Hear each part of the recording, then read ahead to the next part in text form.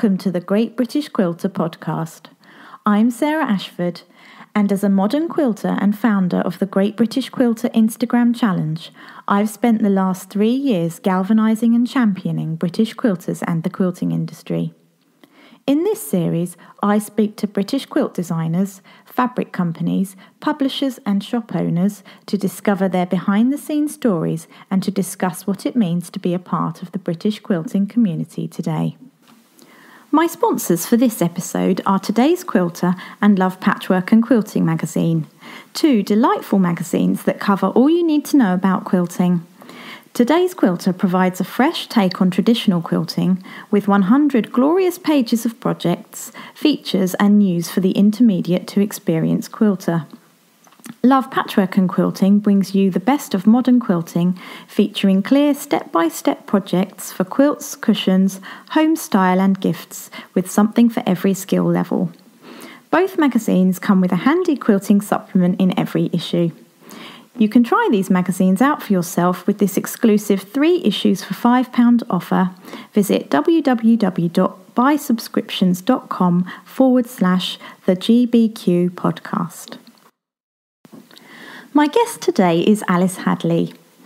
Alice is the editor of Love Patchwork and Quilting magazine and has worked on the title since it launched in 2014. She is the creative force behind the mag, working with amazing contributors all over the world to come up with the fun, fresh projects that feature in every issue.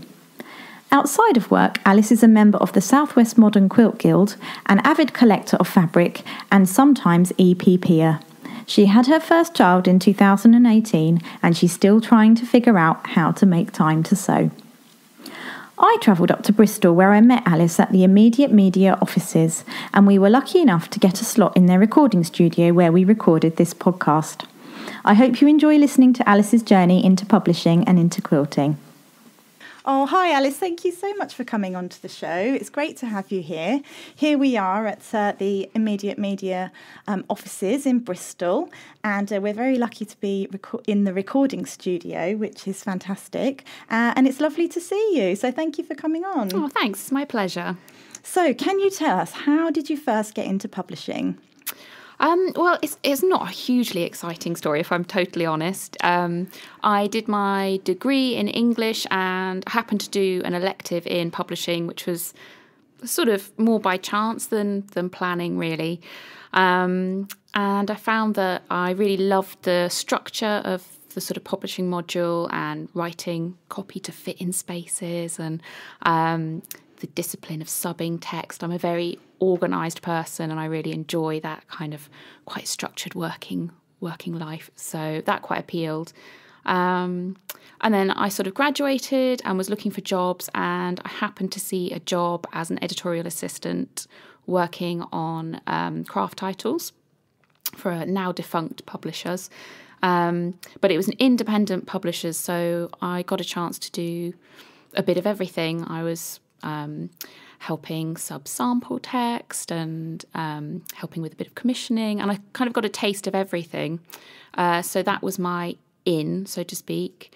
And then I kind of worked my way around. The Southwest is quite a small um, network of publishing. So mm-hmm. we're really lucky that we've got a hub of creative publishers in Bath and Bristol. Um, and everybody sort of knows each other. So we're yes. quite a close knit community. Everybody's sort of, uh, you know, got a few degrees of separation between us. So I worked my way around. Um, I did some more craft titles for a little while. I did book publishing um, with some cookery books and craft titles again.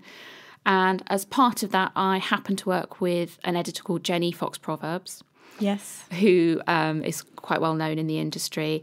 And when she was launching Love Patchwork and Quilting, she approached me sort of out of the blue and asked um, whether I wanted to come and work on the launch with her um, which meant going freelance, which was quite terrifying. scary. um, but once I, I, and I didn't have any any understanding of kind of the modern quilting community before that, to be totally honest. Um, and so I did a bit of research and and realised that it was you know really sort of buzzing community and there was lots happening and um, it was a really supportive community and people were really excited about um, kind of new launches and so it seemed like a no-brainer to join, really. And that was, I think, six years ago. I think that was 2014, and I've just sort of stuck around. I've just stuck it out, and now I'm the editor. And now you're editor. Yeah. and it's such a fantastic publication. It's one I've been really proud to be a part of over the years. Oh, thank you. Um, can you tell our listeners um, a little bit more about it, Love Patchwork and Quilting magazine? Mhm. So we're a modern quilting magazine. Um, we publish 13 times a year, and uh, Love Patchwork and Quilting is sold on UK newsstand. We also sell internationally, and we've got a digital edition as well. Um, really, the magazine focuses on showcasing the best quilting designers from around the world. So we're we're not UK focused. We try and have a, a sort of variety of international contributors, which is really important. Um, and we pride ourselves on presenting really easy to follow, clear instructions. That's a big part of the magazine, accompanied by beautiful photography and styling. And it really is. The photography, I think, is what sells the magazine, isn't it, to so many people because the quilts just are so beautifully styled. It makes you think, yeah, I want to make that quilt. Oh, that's not that's really nice to hear. That's what we aim for, and I think the quilts are really beautiful projects, and so in some ways the styling is easy. You know, they they often style themselves, and it's a really good part of the job is getting projects in and sitting down as a team, and we'll look at them and sort of see where our imagination takes us, and that's kind of the starting point for styling. Um, and then the other thing about Love Patchwork and Quilting is that every issue comes with a quilting tool or a supplement. So those are things that we produce in house, um, and that's just a little little extra that we do. And they're always very issue. useful, aren't they? I always find that your um, supplements, uh, you know, the booklets that you produce or the tools that you have, they're always really useful for the modern quilter, which is which is great. Good. Uh, yeah, again, really nice to hear. That's what we're aiming for. We don't want the cover gifts to be sort of short term throwaway disposable items. We're aiming for them to be something that becomes a part of your quilting toolkit. Yeah, brilliant. Um, so, who would you say is your target audience then? Um, well, it, it's difficult to narrow narrow down really. Um, the projects every issue are a sort of starting point for beginners. So everything in the magazine we think you should be able to tackle if you've got you know you can use your sewing machine. You should be able to sit down with the magazine and get to the end of a project. Um, the flip side of that is that for more experienced quilters, there are a mix of sort of quicker finishes and things with new techniques to sort of test them. Um, so we do try and introduce those new techniques for the more advanced quilters. Um, and really, I mean, it just comes down to sort of your personal taste level. I think Love Patchwork and Quilting is for anybody that loves colour and has a sort of passion for, for modern fabrics. I think that's what sets us apart, and that's what sets our readers apart as well. And so, can you tell us about um, a typical day as editor of Love Patchwork and Quilting? I mean, you must be so busy, um, and it's such a beautifully um, produced publication, um, and there's obviously so much work going on behind the scenes. So, what does it, what does the average day look like to you, or is there no such thing as an average day? Um, well, I suppose the pattern of our days, I should introduce the team because they're really important. So there's me, I'm the editor. And then we have Lorna, who's our production editor. So Lorna does, um, she commissions the features, she subs everything on page. She's a, a little proofreading whirlwind. Um, and she does all the sort of day to day stuff with contributors, and she also mans our Instagram page, which is very important. And then we've got Kit, who's our art editor, and she does all the page layouts, she does all the photography styling. Um, Kit's the one that goes on photo shoots and, and is actually, you know, doing the physical photography styling. And she sources all the props.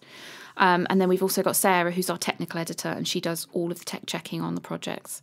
Um, and she occasionally writes tutorials and sews up samples. So it's not just me in isolation. And Yeah. um, I the pattern of our days really depends where we are in the print schedule. Mm-hmm. So we're sending one issue about every three and a half weeks. yeah. Um, so generally, I start very early. I'm in the office for half seven. That's early. yeah. Um, but it's nice. I get a couple of hours of real quiet time Yes. before anybody else is in.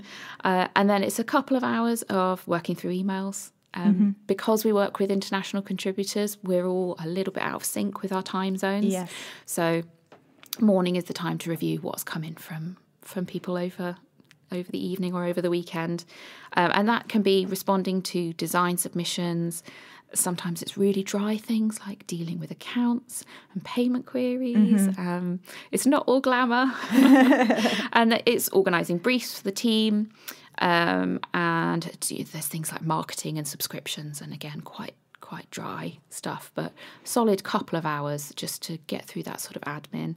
Um, I think admin is quite a big part of being an editor. It's it's not very interesting, but um, I think there's kind of a common misconception that I spend my day just looking at lovely fabrics and quilts, Yes. and that is, I mean, admittedly, quite a big part of my day, and I'm very lucky. But um, to be an editor, I think your first passion has to be publishing. Yes. So for me, my first love is publishing. My second love is quilting. Right. And it's a, a happy coincidence that they they Come merge. together. Mhm. Um, so I'm trying to think what else I would do in a day. So if we're on deadline, then I've of course got a big stack of pages to check. Yes. So everything in the mag, I read, Lorna reads, Sarah reads. Yes. So as many eyes as possible on page is a good thing.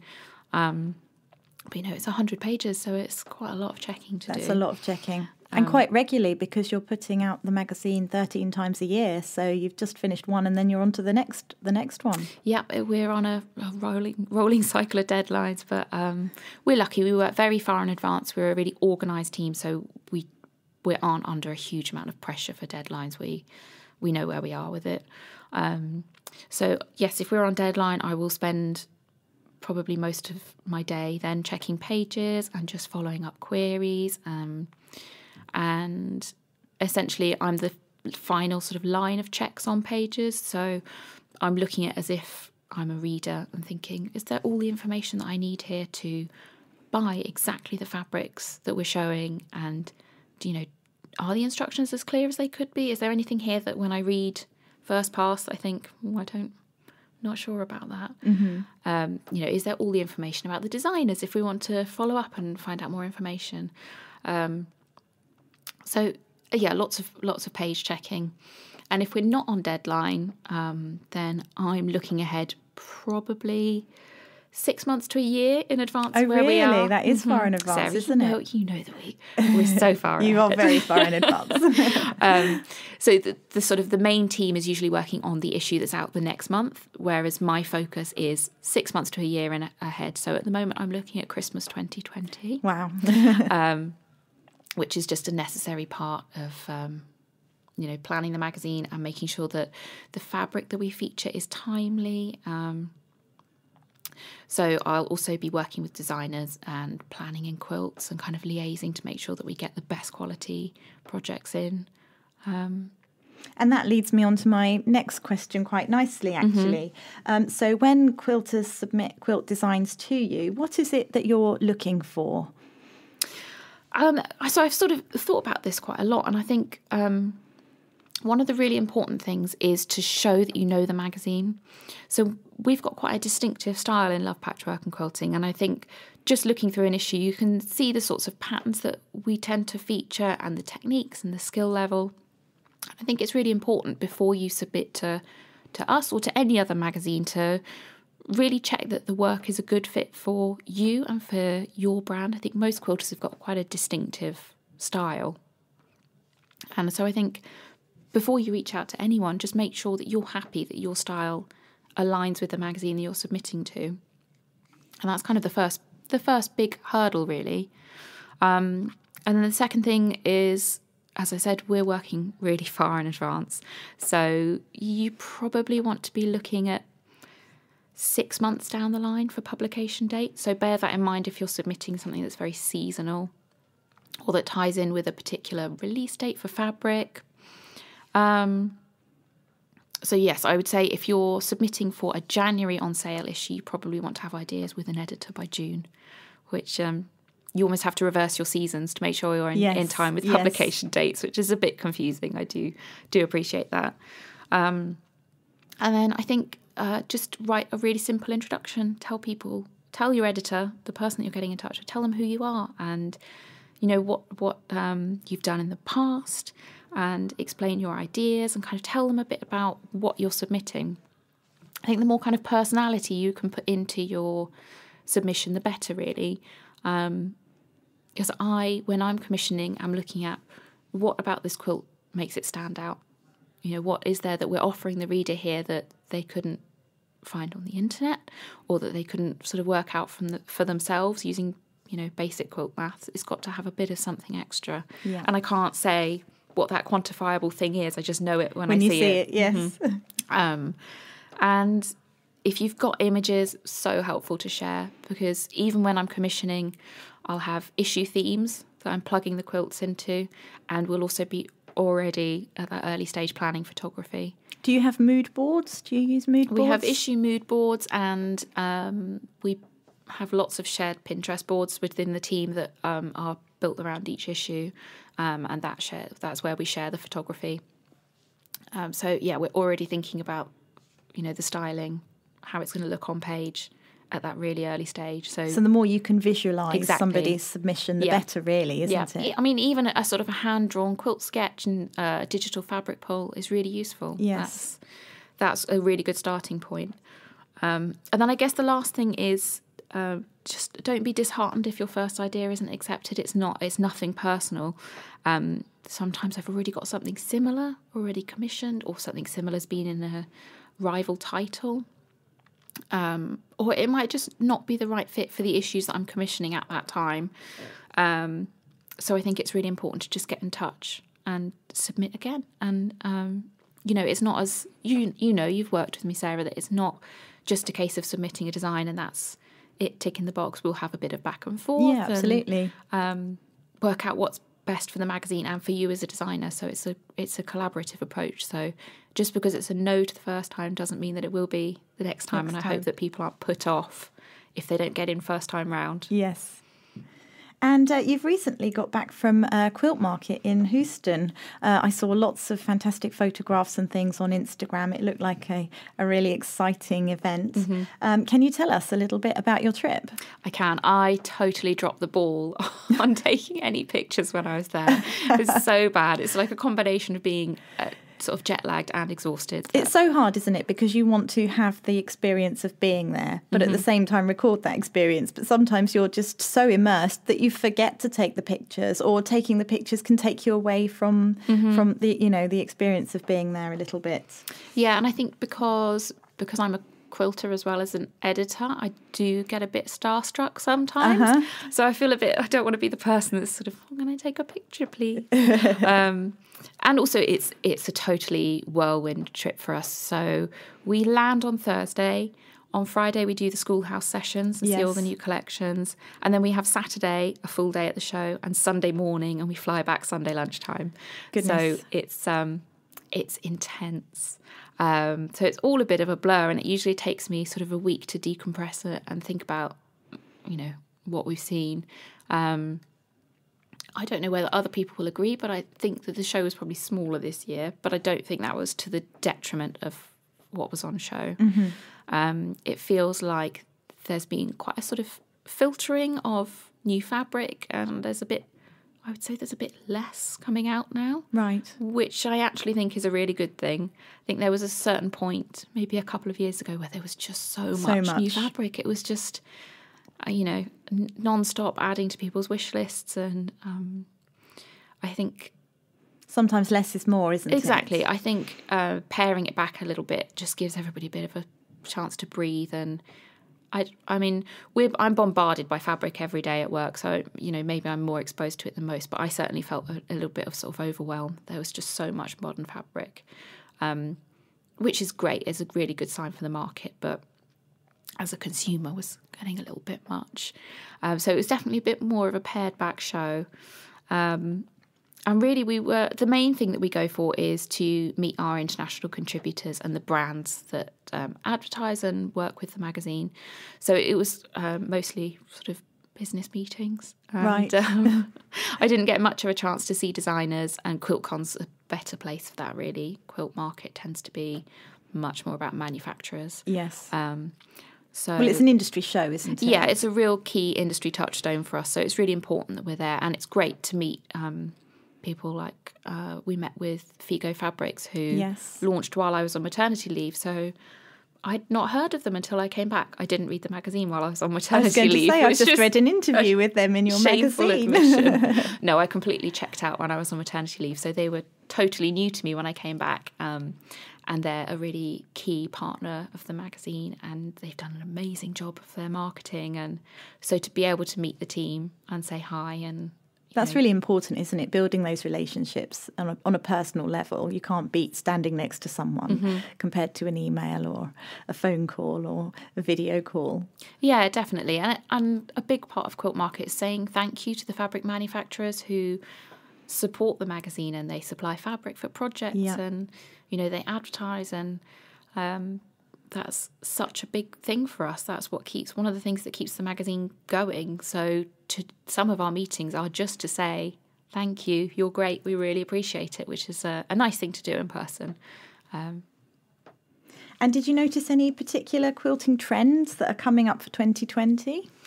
Yeah, definitely. I mean, one of the things was, as I said, less um, SKUs in a collection, so less prints in collections. Um, Why do you think that is? So that it's more affordable for the retailers to buy a whole collection or? Well, there was a big focus this year at Quilt Market about how to help quilt quilt shops sort of prosper, mm-hmm. and I do think that part of that is that uh, reaction to there being this huge oversaturation of new fabrics that you know no quilter could with the best will in the world possibly buy everything that was Yeah. being put out and i think that had quite a detrimental effect on quilt shops Yes. um, because they just can't turn the stock fast enough i suppose um, so i think it's a reaction to that and i think that's a, a really good part of the quilting industry is that the manufacturers do respond to the demands of the retailers and the consumer Yes. so that's quite a, quite a quick turnaround, really, for you know people to have been expressing their concerns maybe two years ago at Quilt Market, and to actually have something in place two years down Two the line is quite a good, really for a big industry is a, is a good reaction time, I think. Um, I also saw lots of panels. Lots of the manufacturers are producing panels with Yes. their lines, which is interesting. Um, it's not something that we feature in the magazine because obviously it's sort of counterintuitive to supplying pattern instructions. Um, but it's quite an interesting indication that people who are time poor are interest, increasingly interested in sewing something. So again, I think that's a really positive, positive thing. And I saw some beautiful panels actually, the Ruby Star ones. Yes, and- Ruby Star Yes. always knock it out of the park. So Always, don't they? There's our lovely. Um, lots of purple. Purple's making a comeback. Oh, is it? Yep. Oh, You heard it here interesting. first. um, and Figo, uh, the the new brand that I was talking about, um, they just seem to have a particular eye for lovely purples. I've never been a massive fan of purple before, but they've won me over. Oh, they've convinced you. Ah, so lots of that. interesting. Um, lots of sewing notions in fabric. yes, prints. So Tula's new launch was all sort of sewing notions, wasn't it, with the Yeah. sewing machine and the scissors and things. Yes, and everything that was pictured on the fabric you can buy. As a It's very clever, isn't it? She's a genius. She is a genius. Um, and the last thing that I thought about was the, there's a lot more substrates out there for quilting with. So um, Violet Craft had a booth with Robert Kaufman to introduce Yes. Uh-huh. her new fabric line, and she had amazing velveteen, hundred percent cotton velveteen. Oh yes, because she was made some lovely cushions, didn't she, in the yeah, velvet? she'd covered a chair, and it was it's really dreamy stuff. And she'd sewn it into quilts with quilting cotton. to show that it is versatile and can be used in um, yeah, she quilting said that she'd washed it and put it through the dryer, and it was all fine. Which Wow, I'd be these really interested to give that a try. Actually, It's really gorgeous. It's got a lovely texture. So yeah, that's quite. I was quite excited about that. Ah. yeah, definitely, absolutely. So, did you have a favourite booth? The Violet Craft booth looked incredible. It was. It w- looked really um, cozy. I just wanted to Touch get, everything. get on in there, get under the quilts. Yeah. Um, actually, my favourite was uh, a brand called So Quirky, which is uh, run by a lovely lady called Mandy Murray, and they're Australian.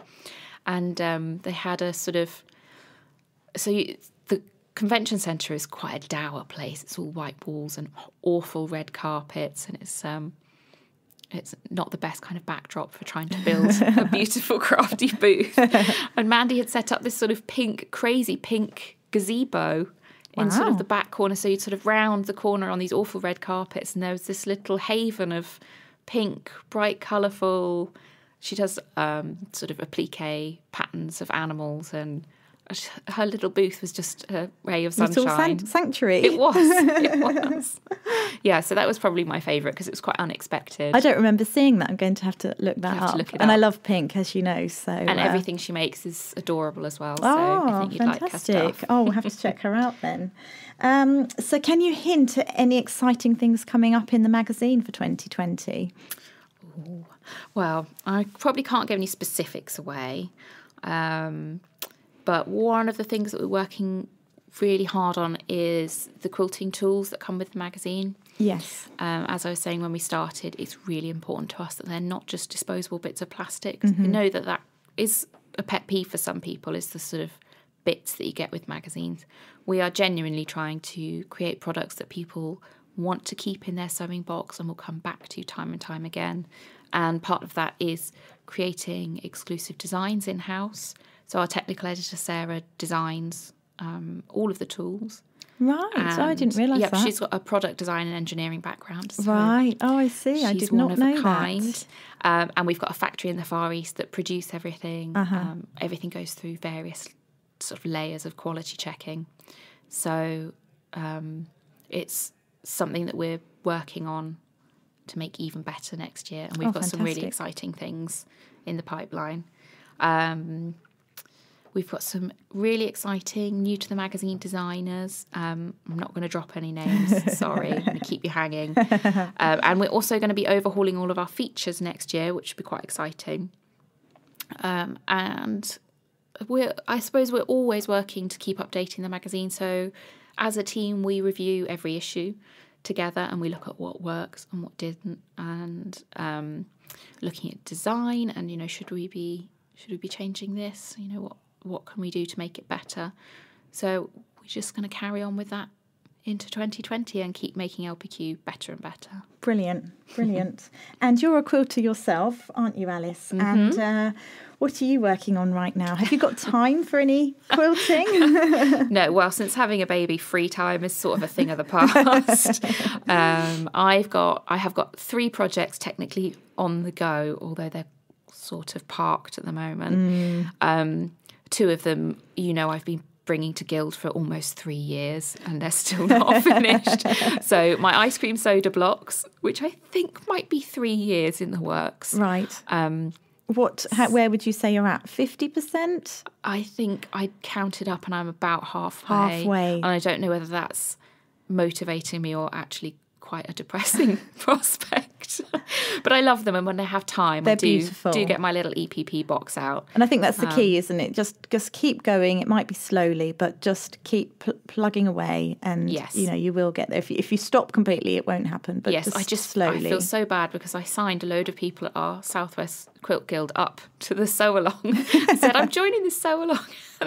Everybody else is finished, Finished. and mine's still still in the envelopes in some cases.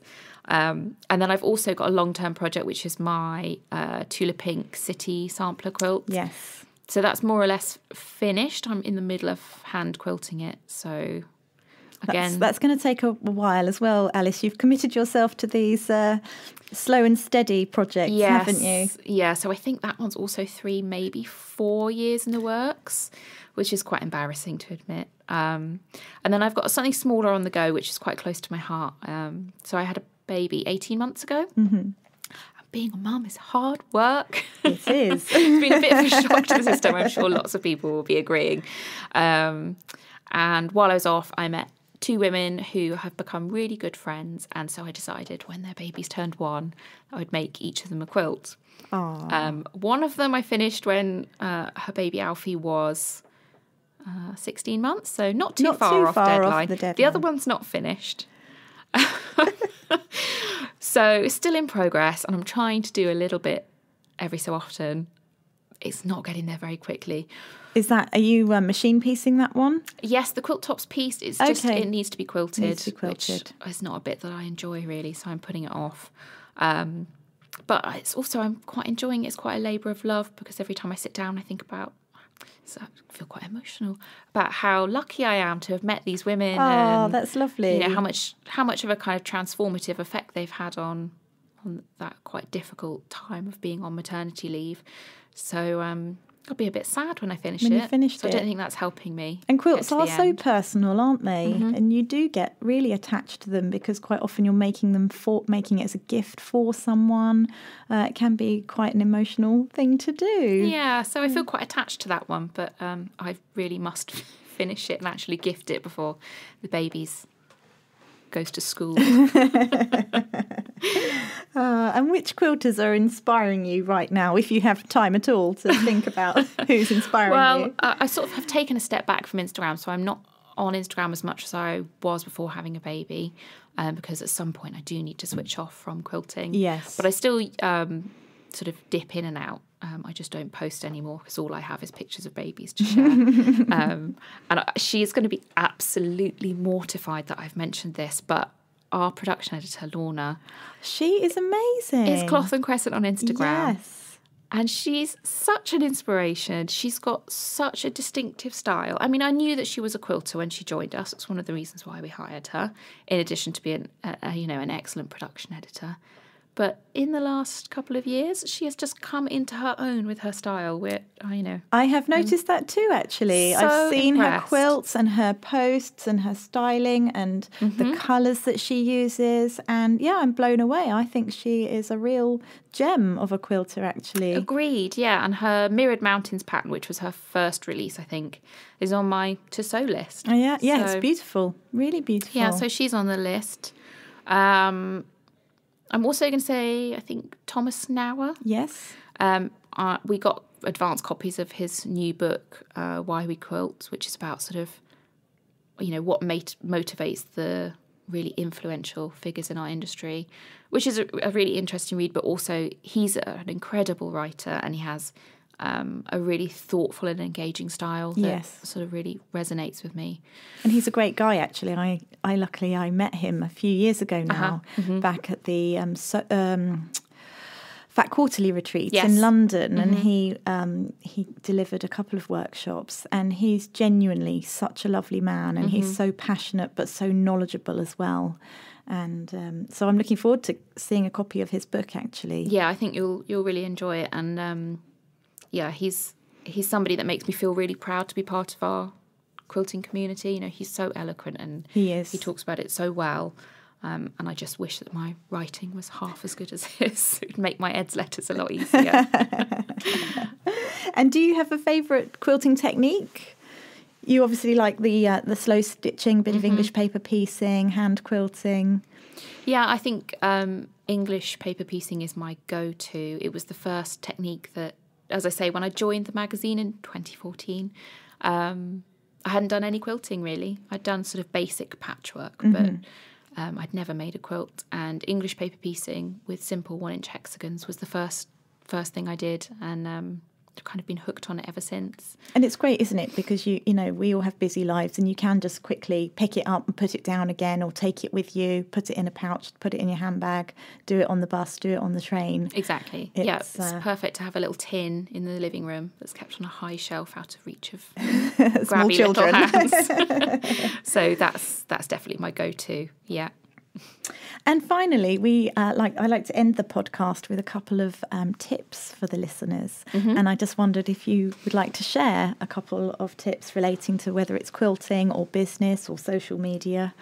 What what uh, words of wisdom could you share with us? Well, I think my first thing is a sort of um, if you don't ask, you'll never know kind of approach is really good if you're thinking about making quilting a business or maybe you're planning some sort of charity venture. I think don't underestimate the generosity of people in our community. If you are doing something special and you would like some help or you want uh, an event sponsored or something like that, reach out to the bigger brands and ask whether they'd like to be involved. I think that's quite a big one.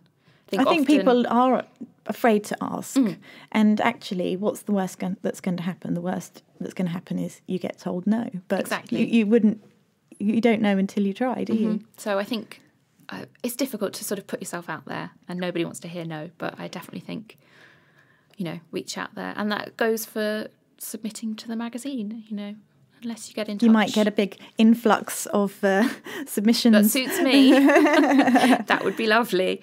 Um, and then I suppose the other thing is if you're creating a kind of business around your quilting, then I think it's really important to build a brand for yourself. An identity to make Yeah, you... so I think um, sort of find your style before you start building your following or reaching out to magazines and that sort of thing.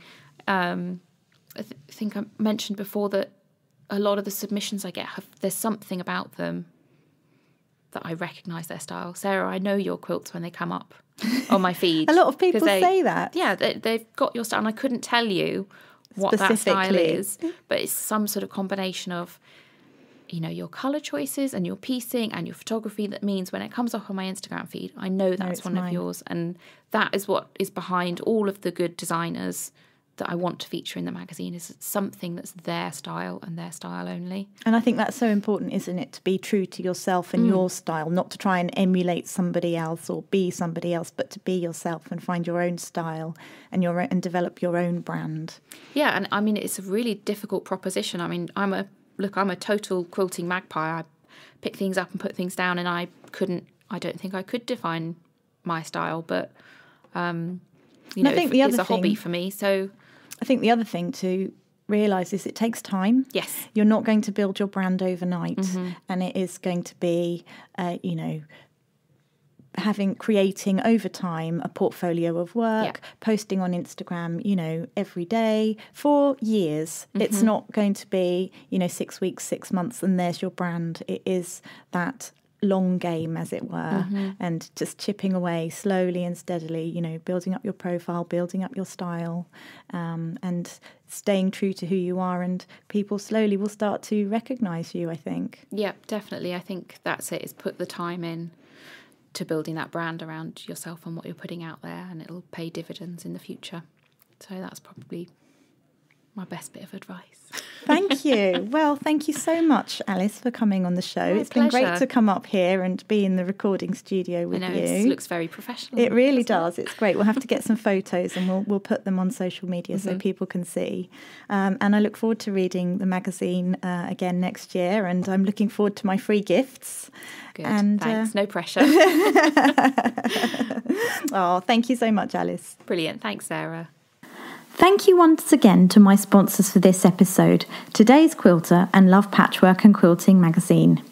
Don't forget you can try these magazines out for yourself with this exclusive three issues for £5 offer. Visit www.buysubscriptions.com forward slash the GBQ podcast.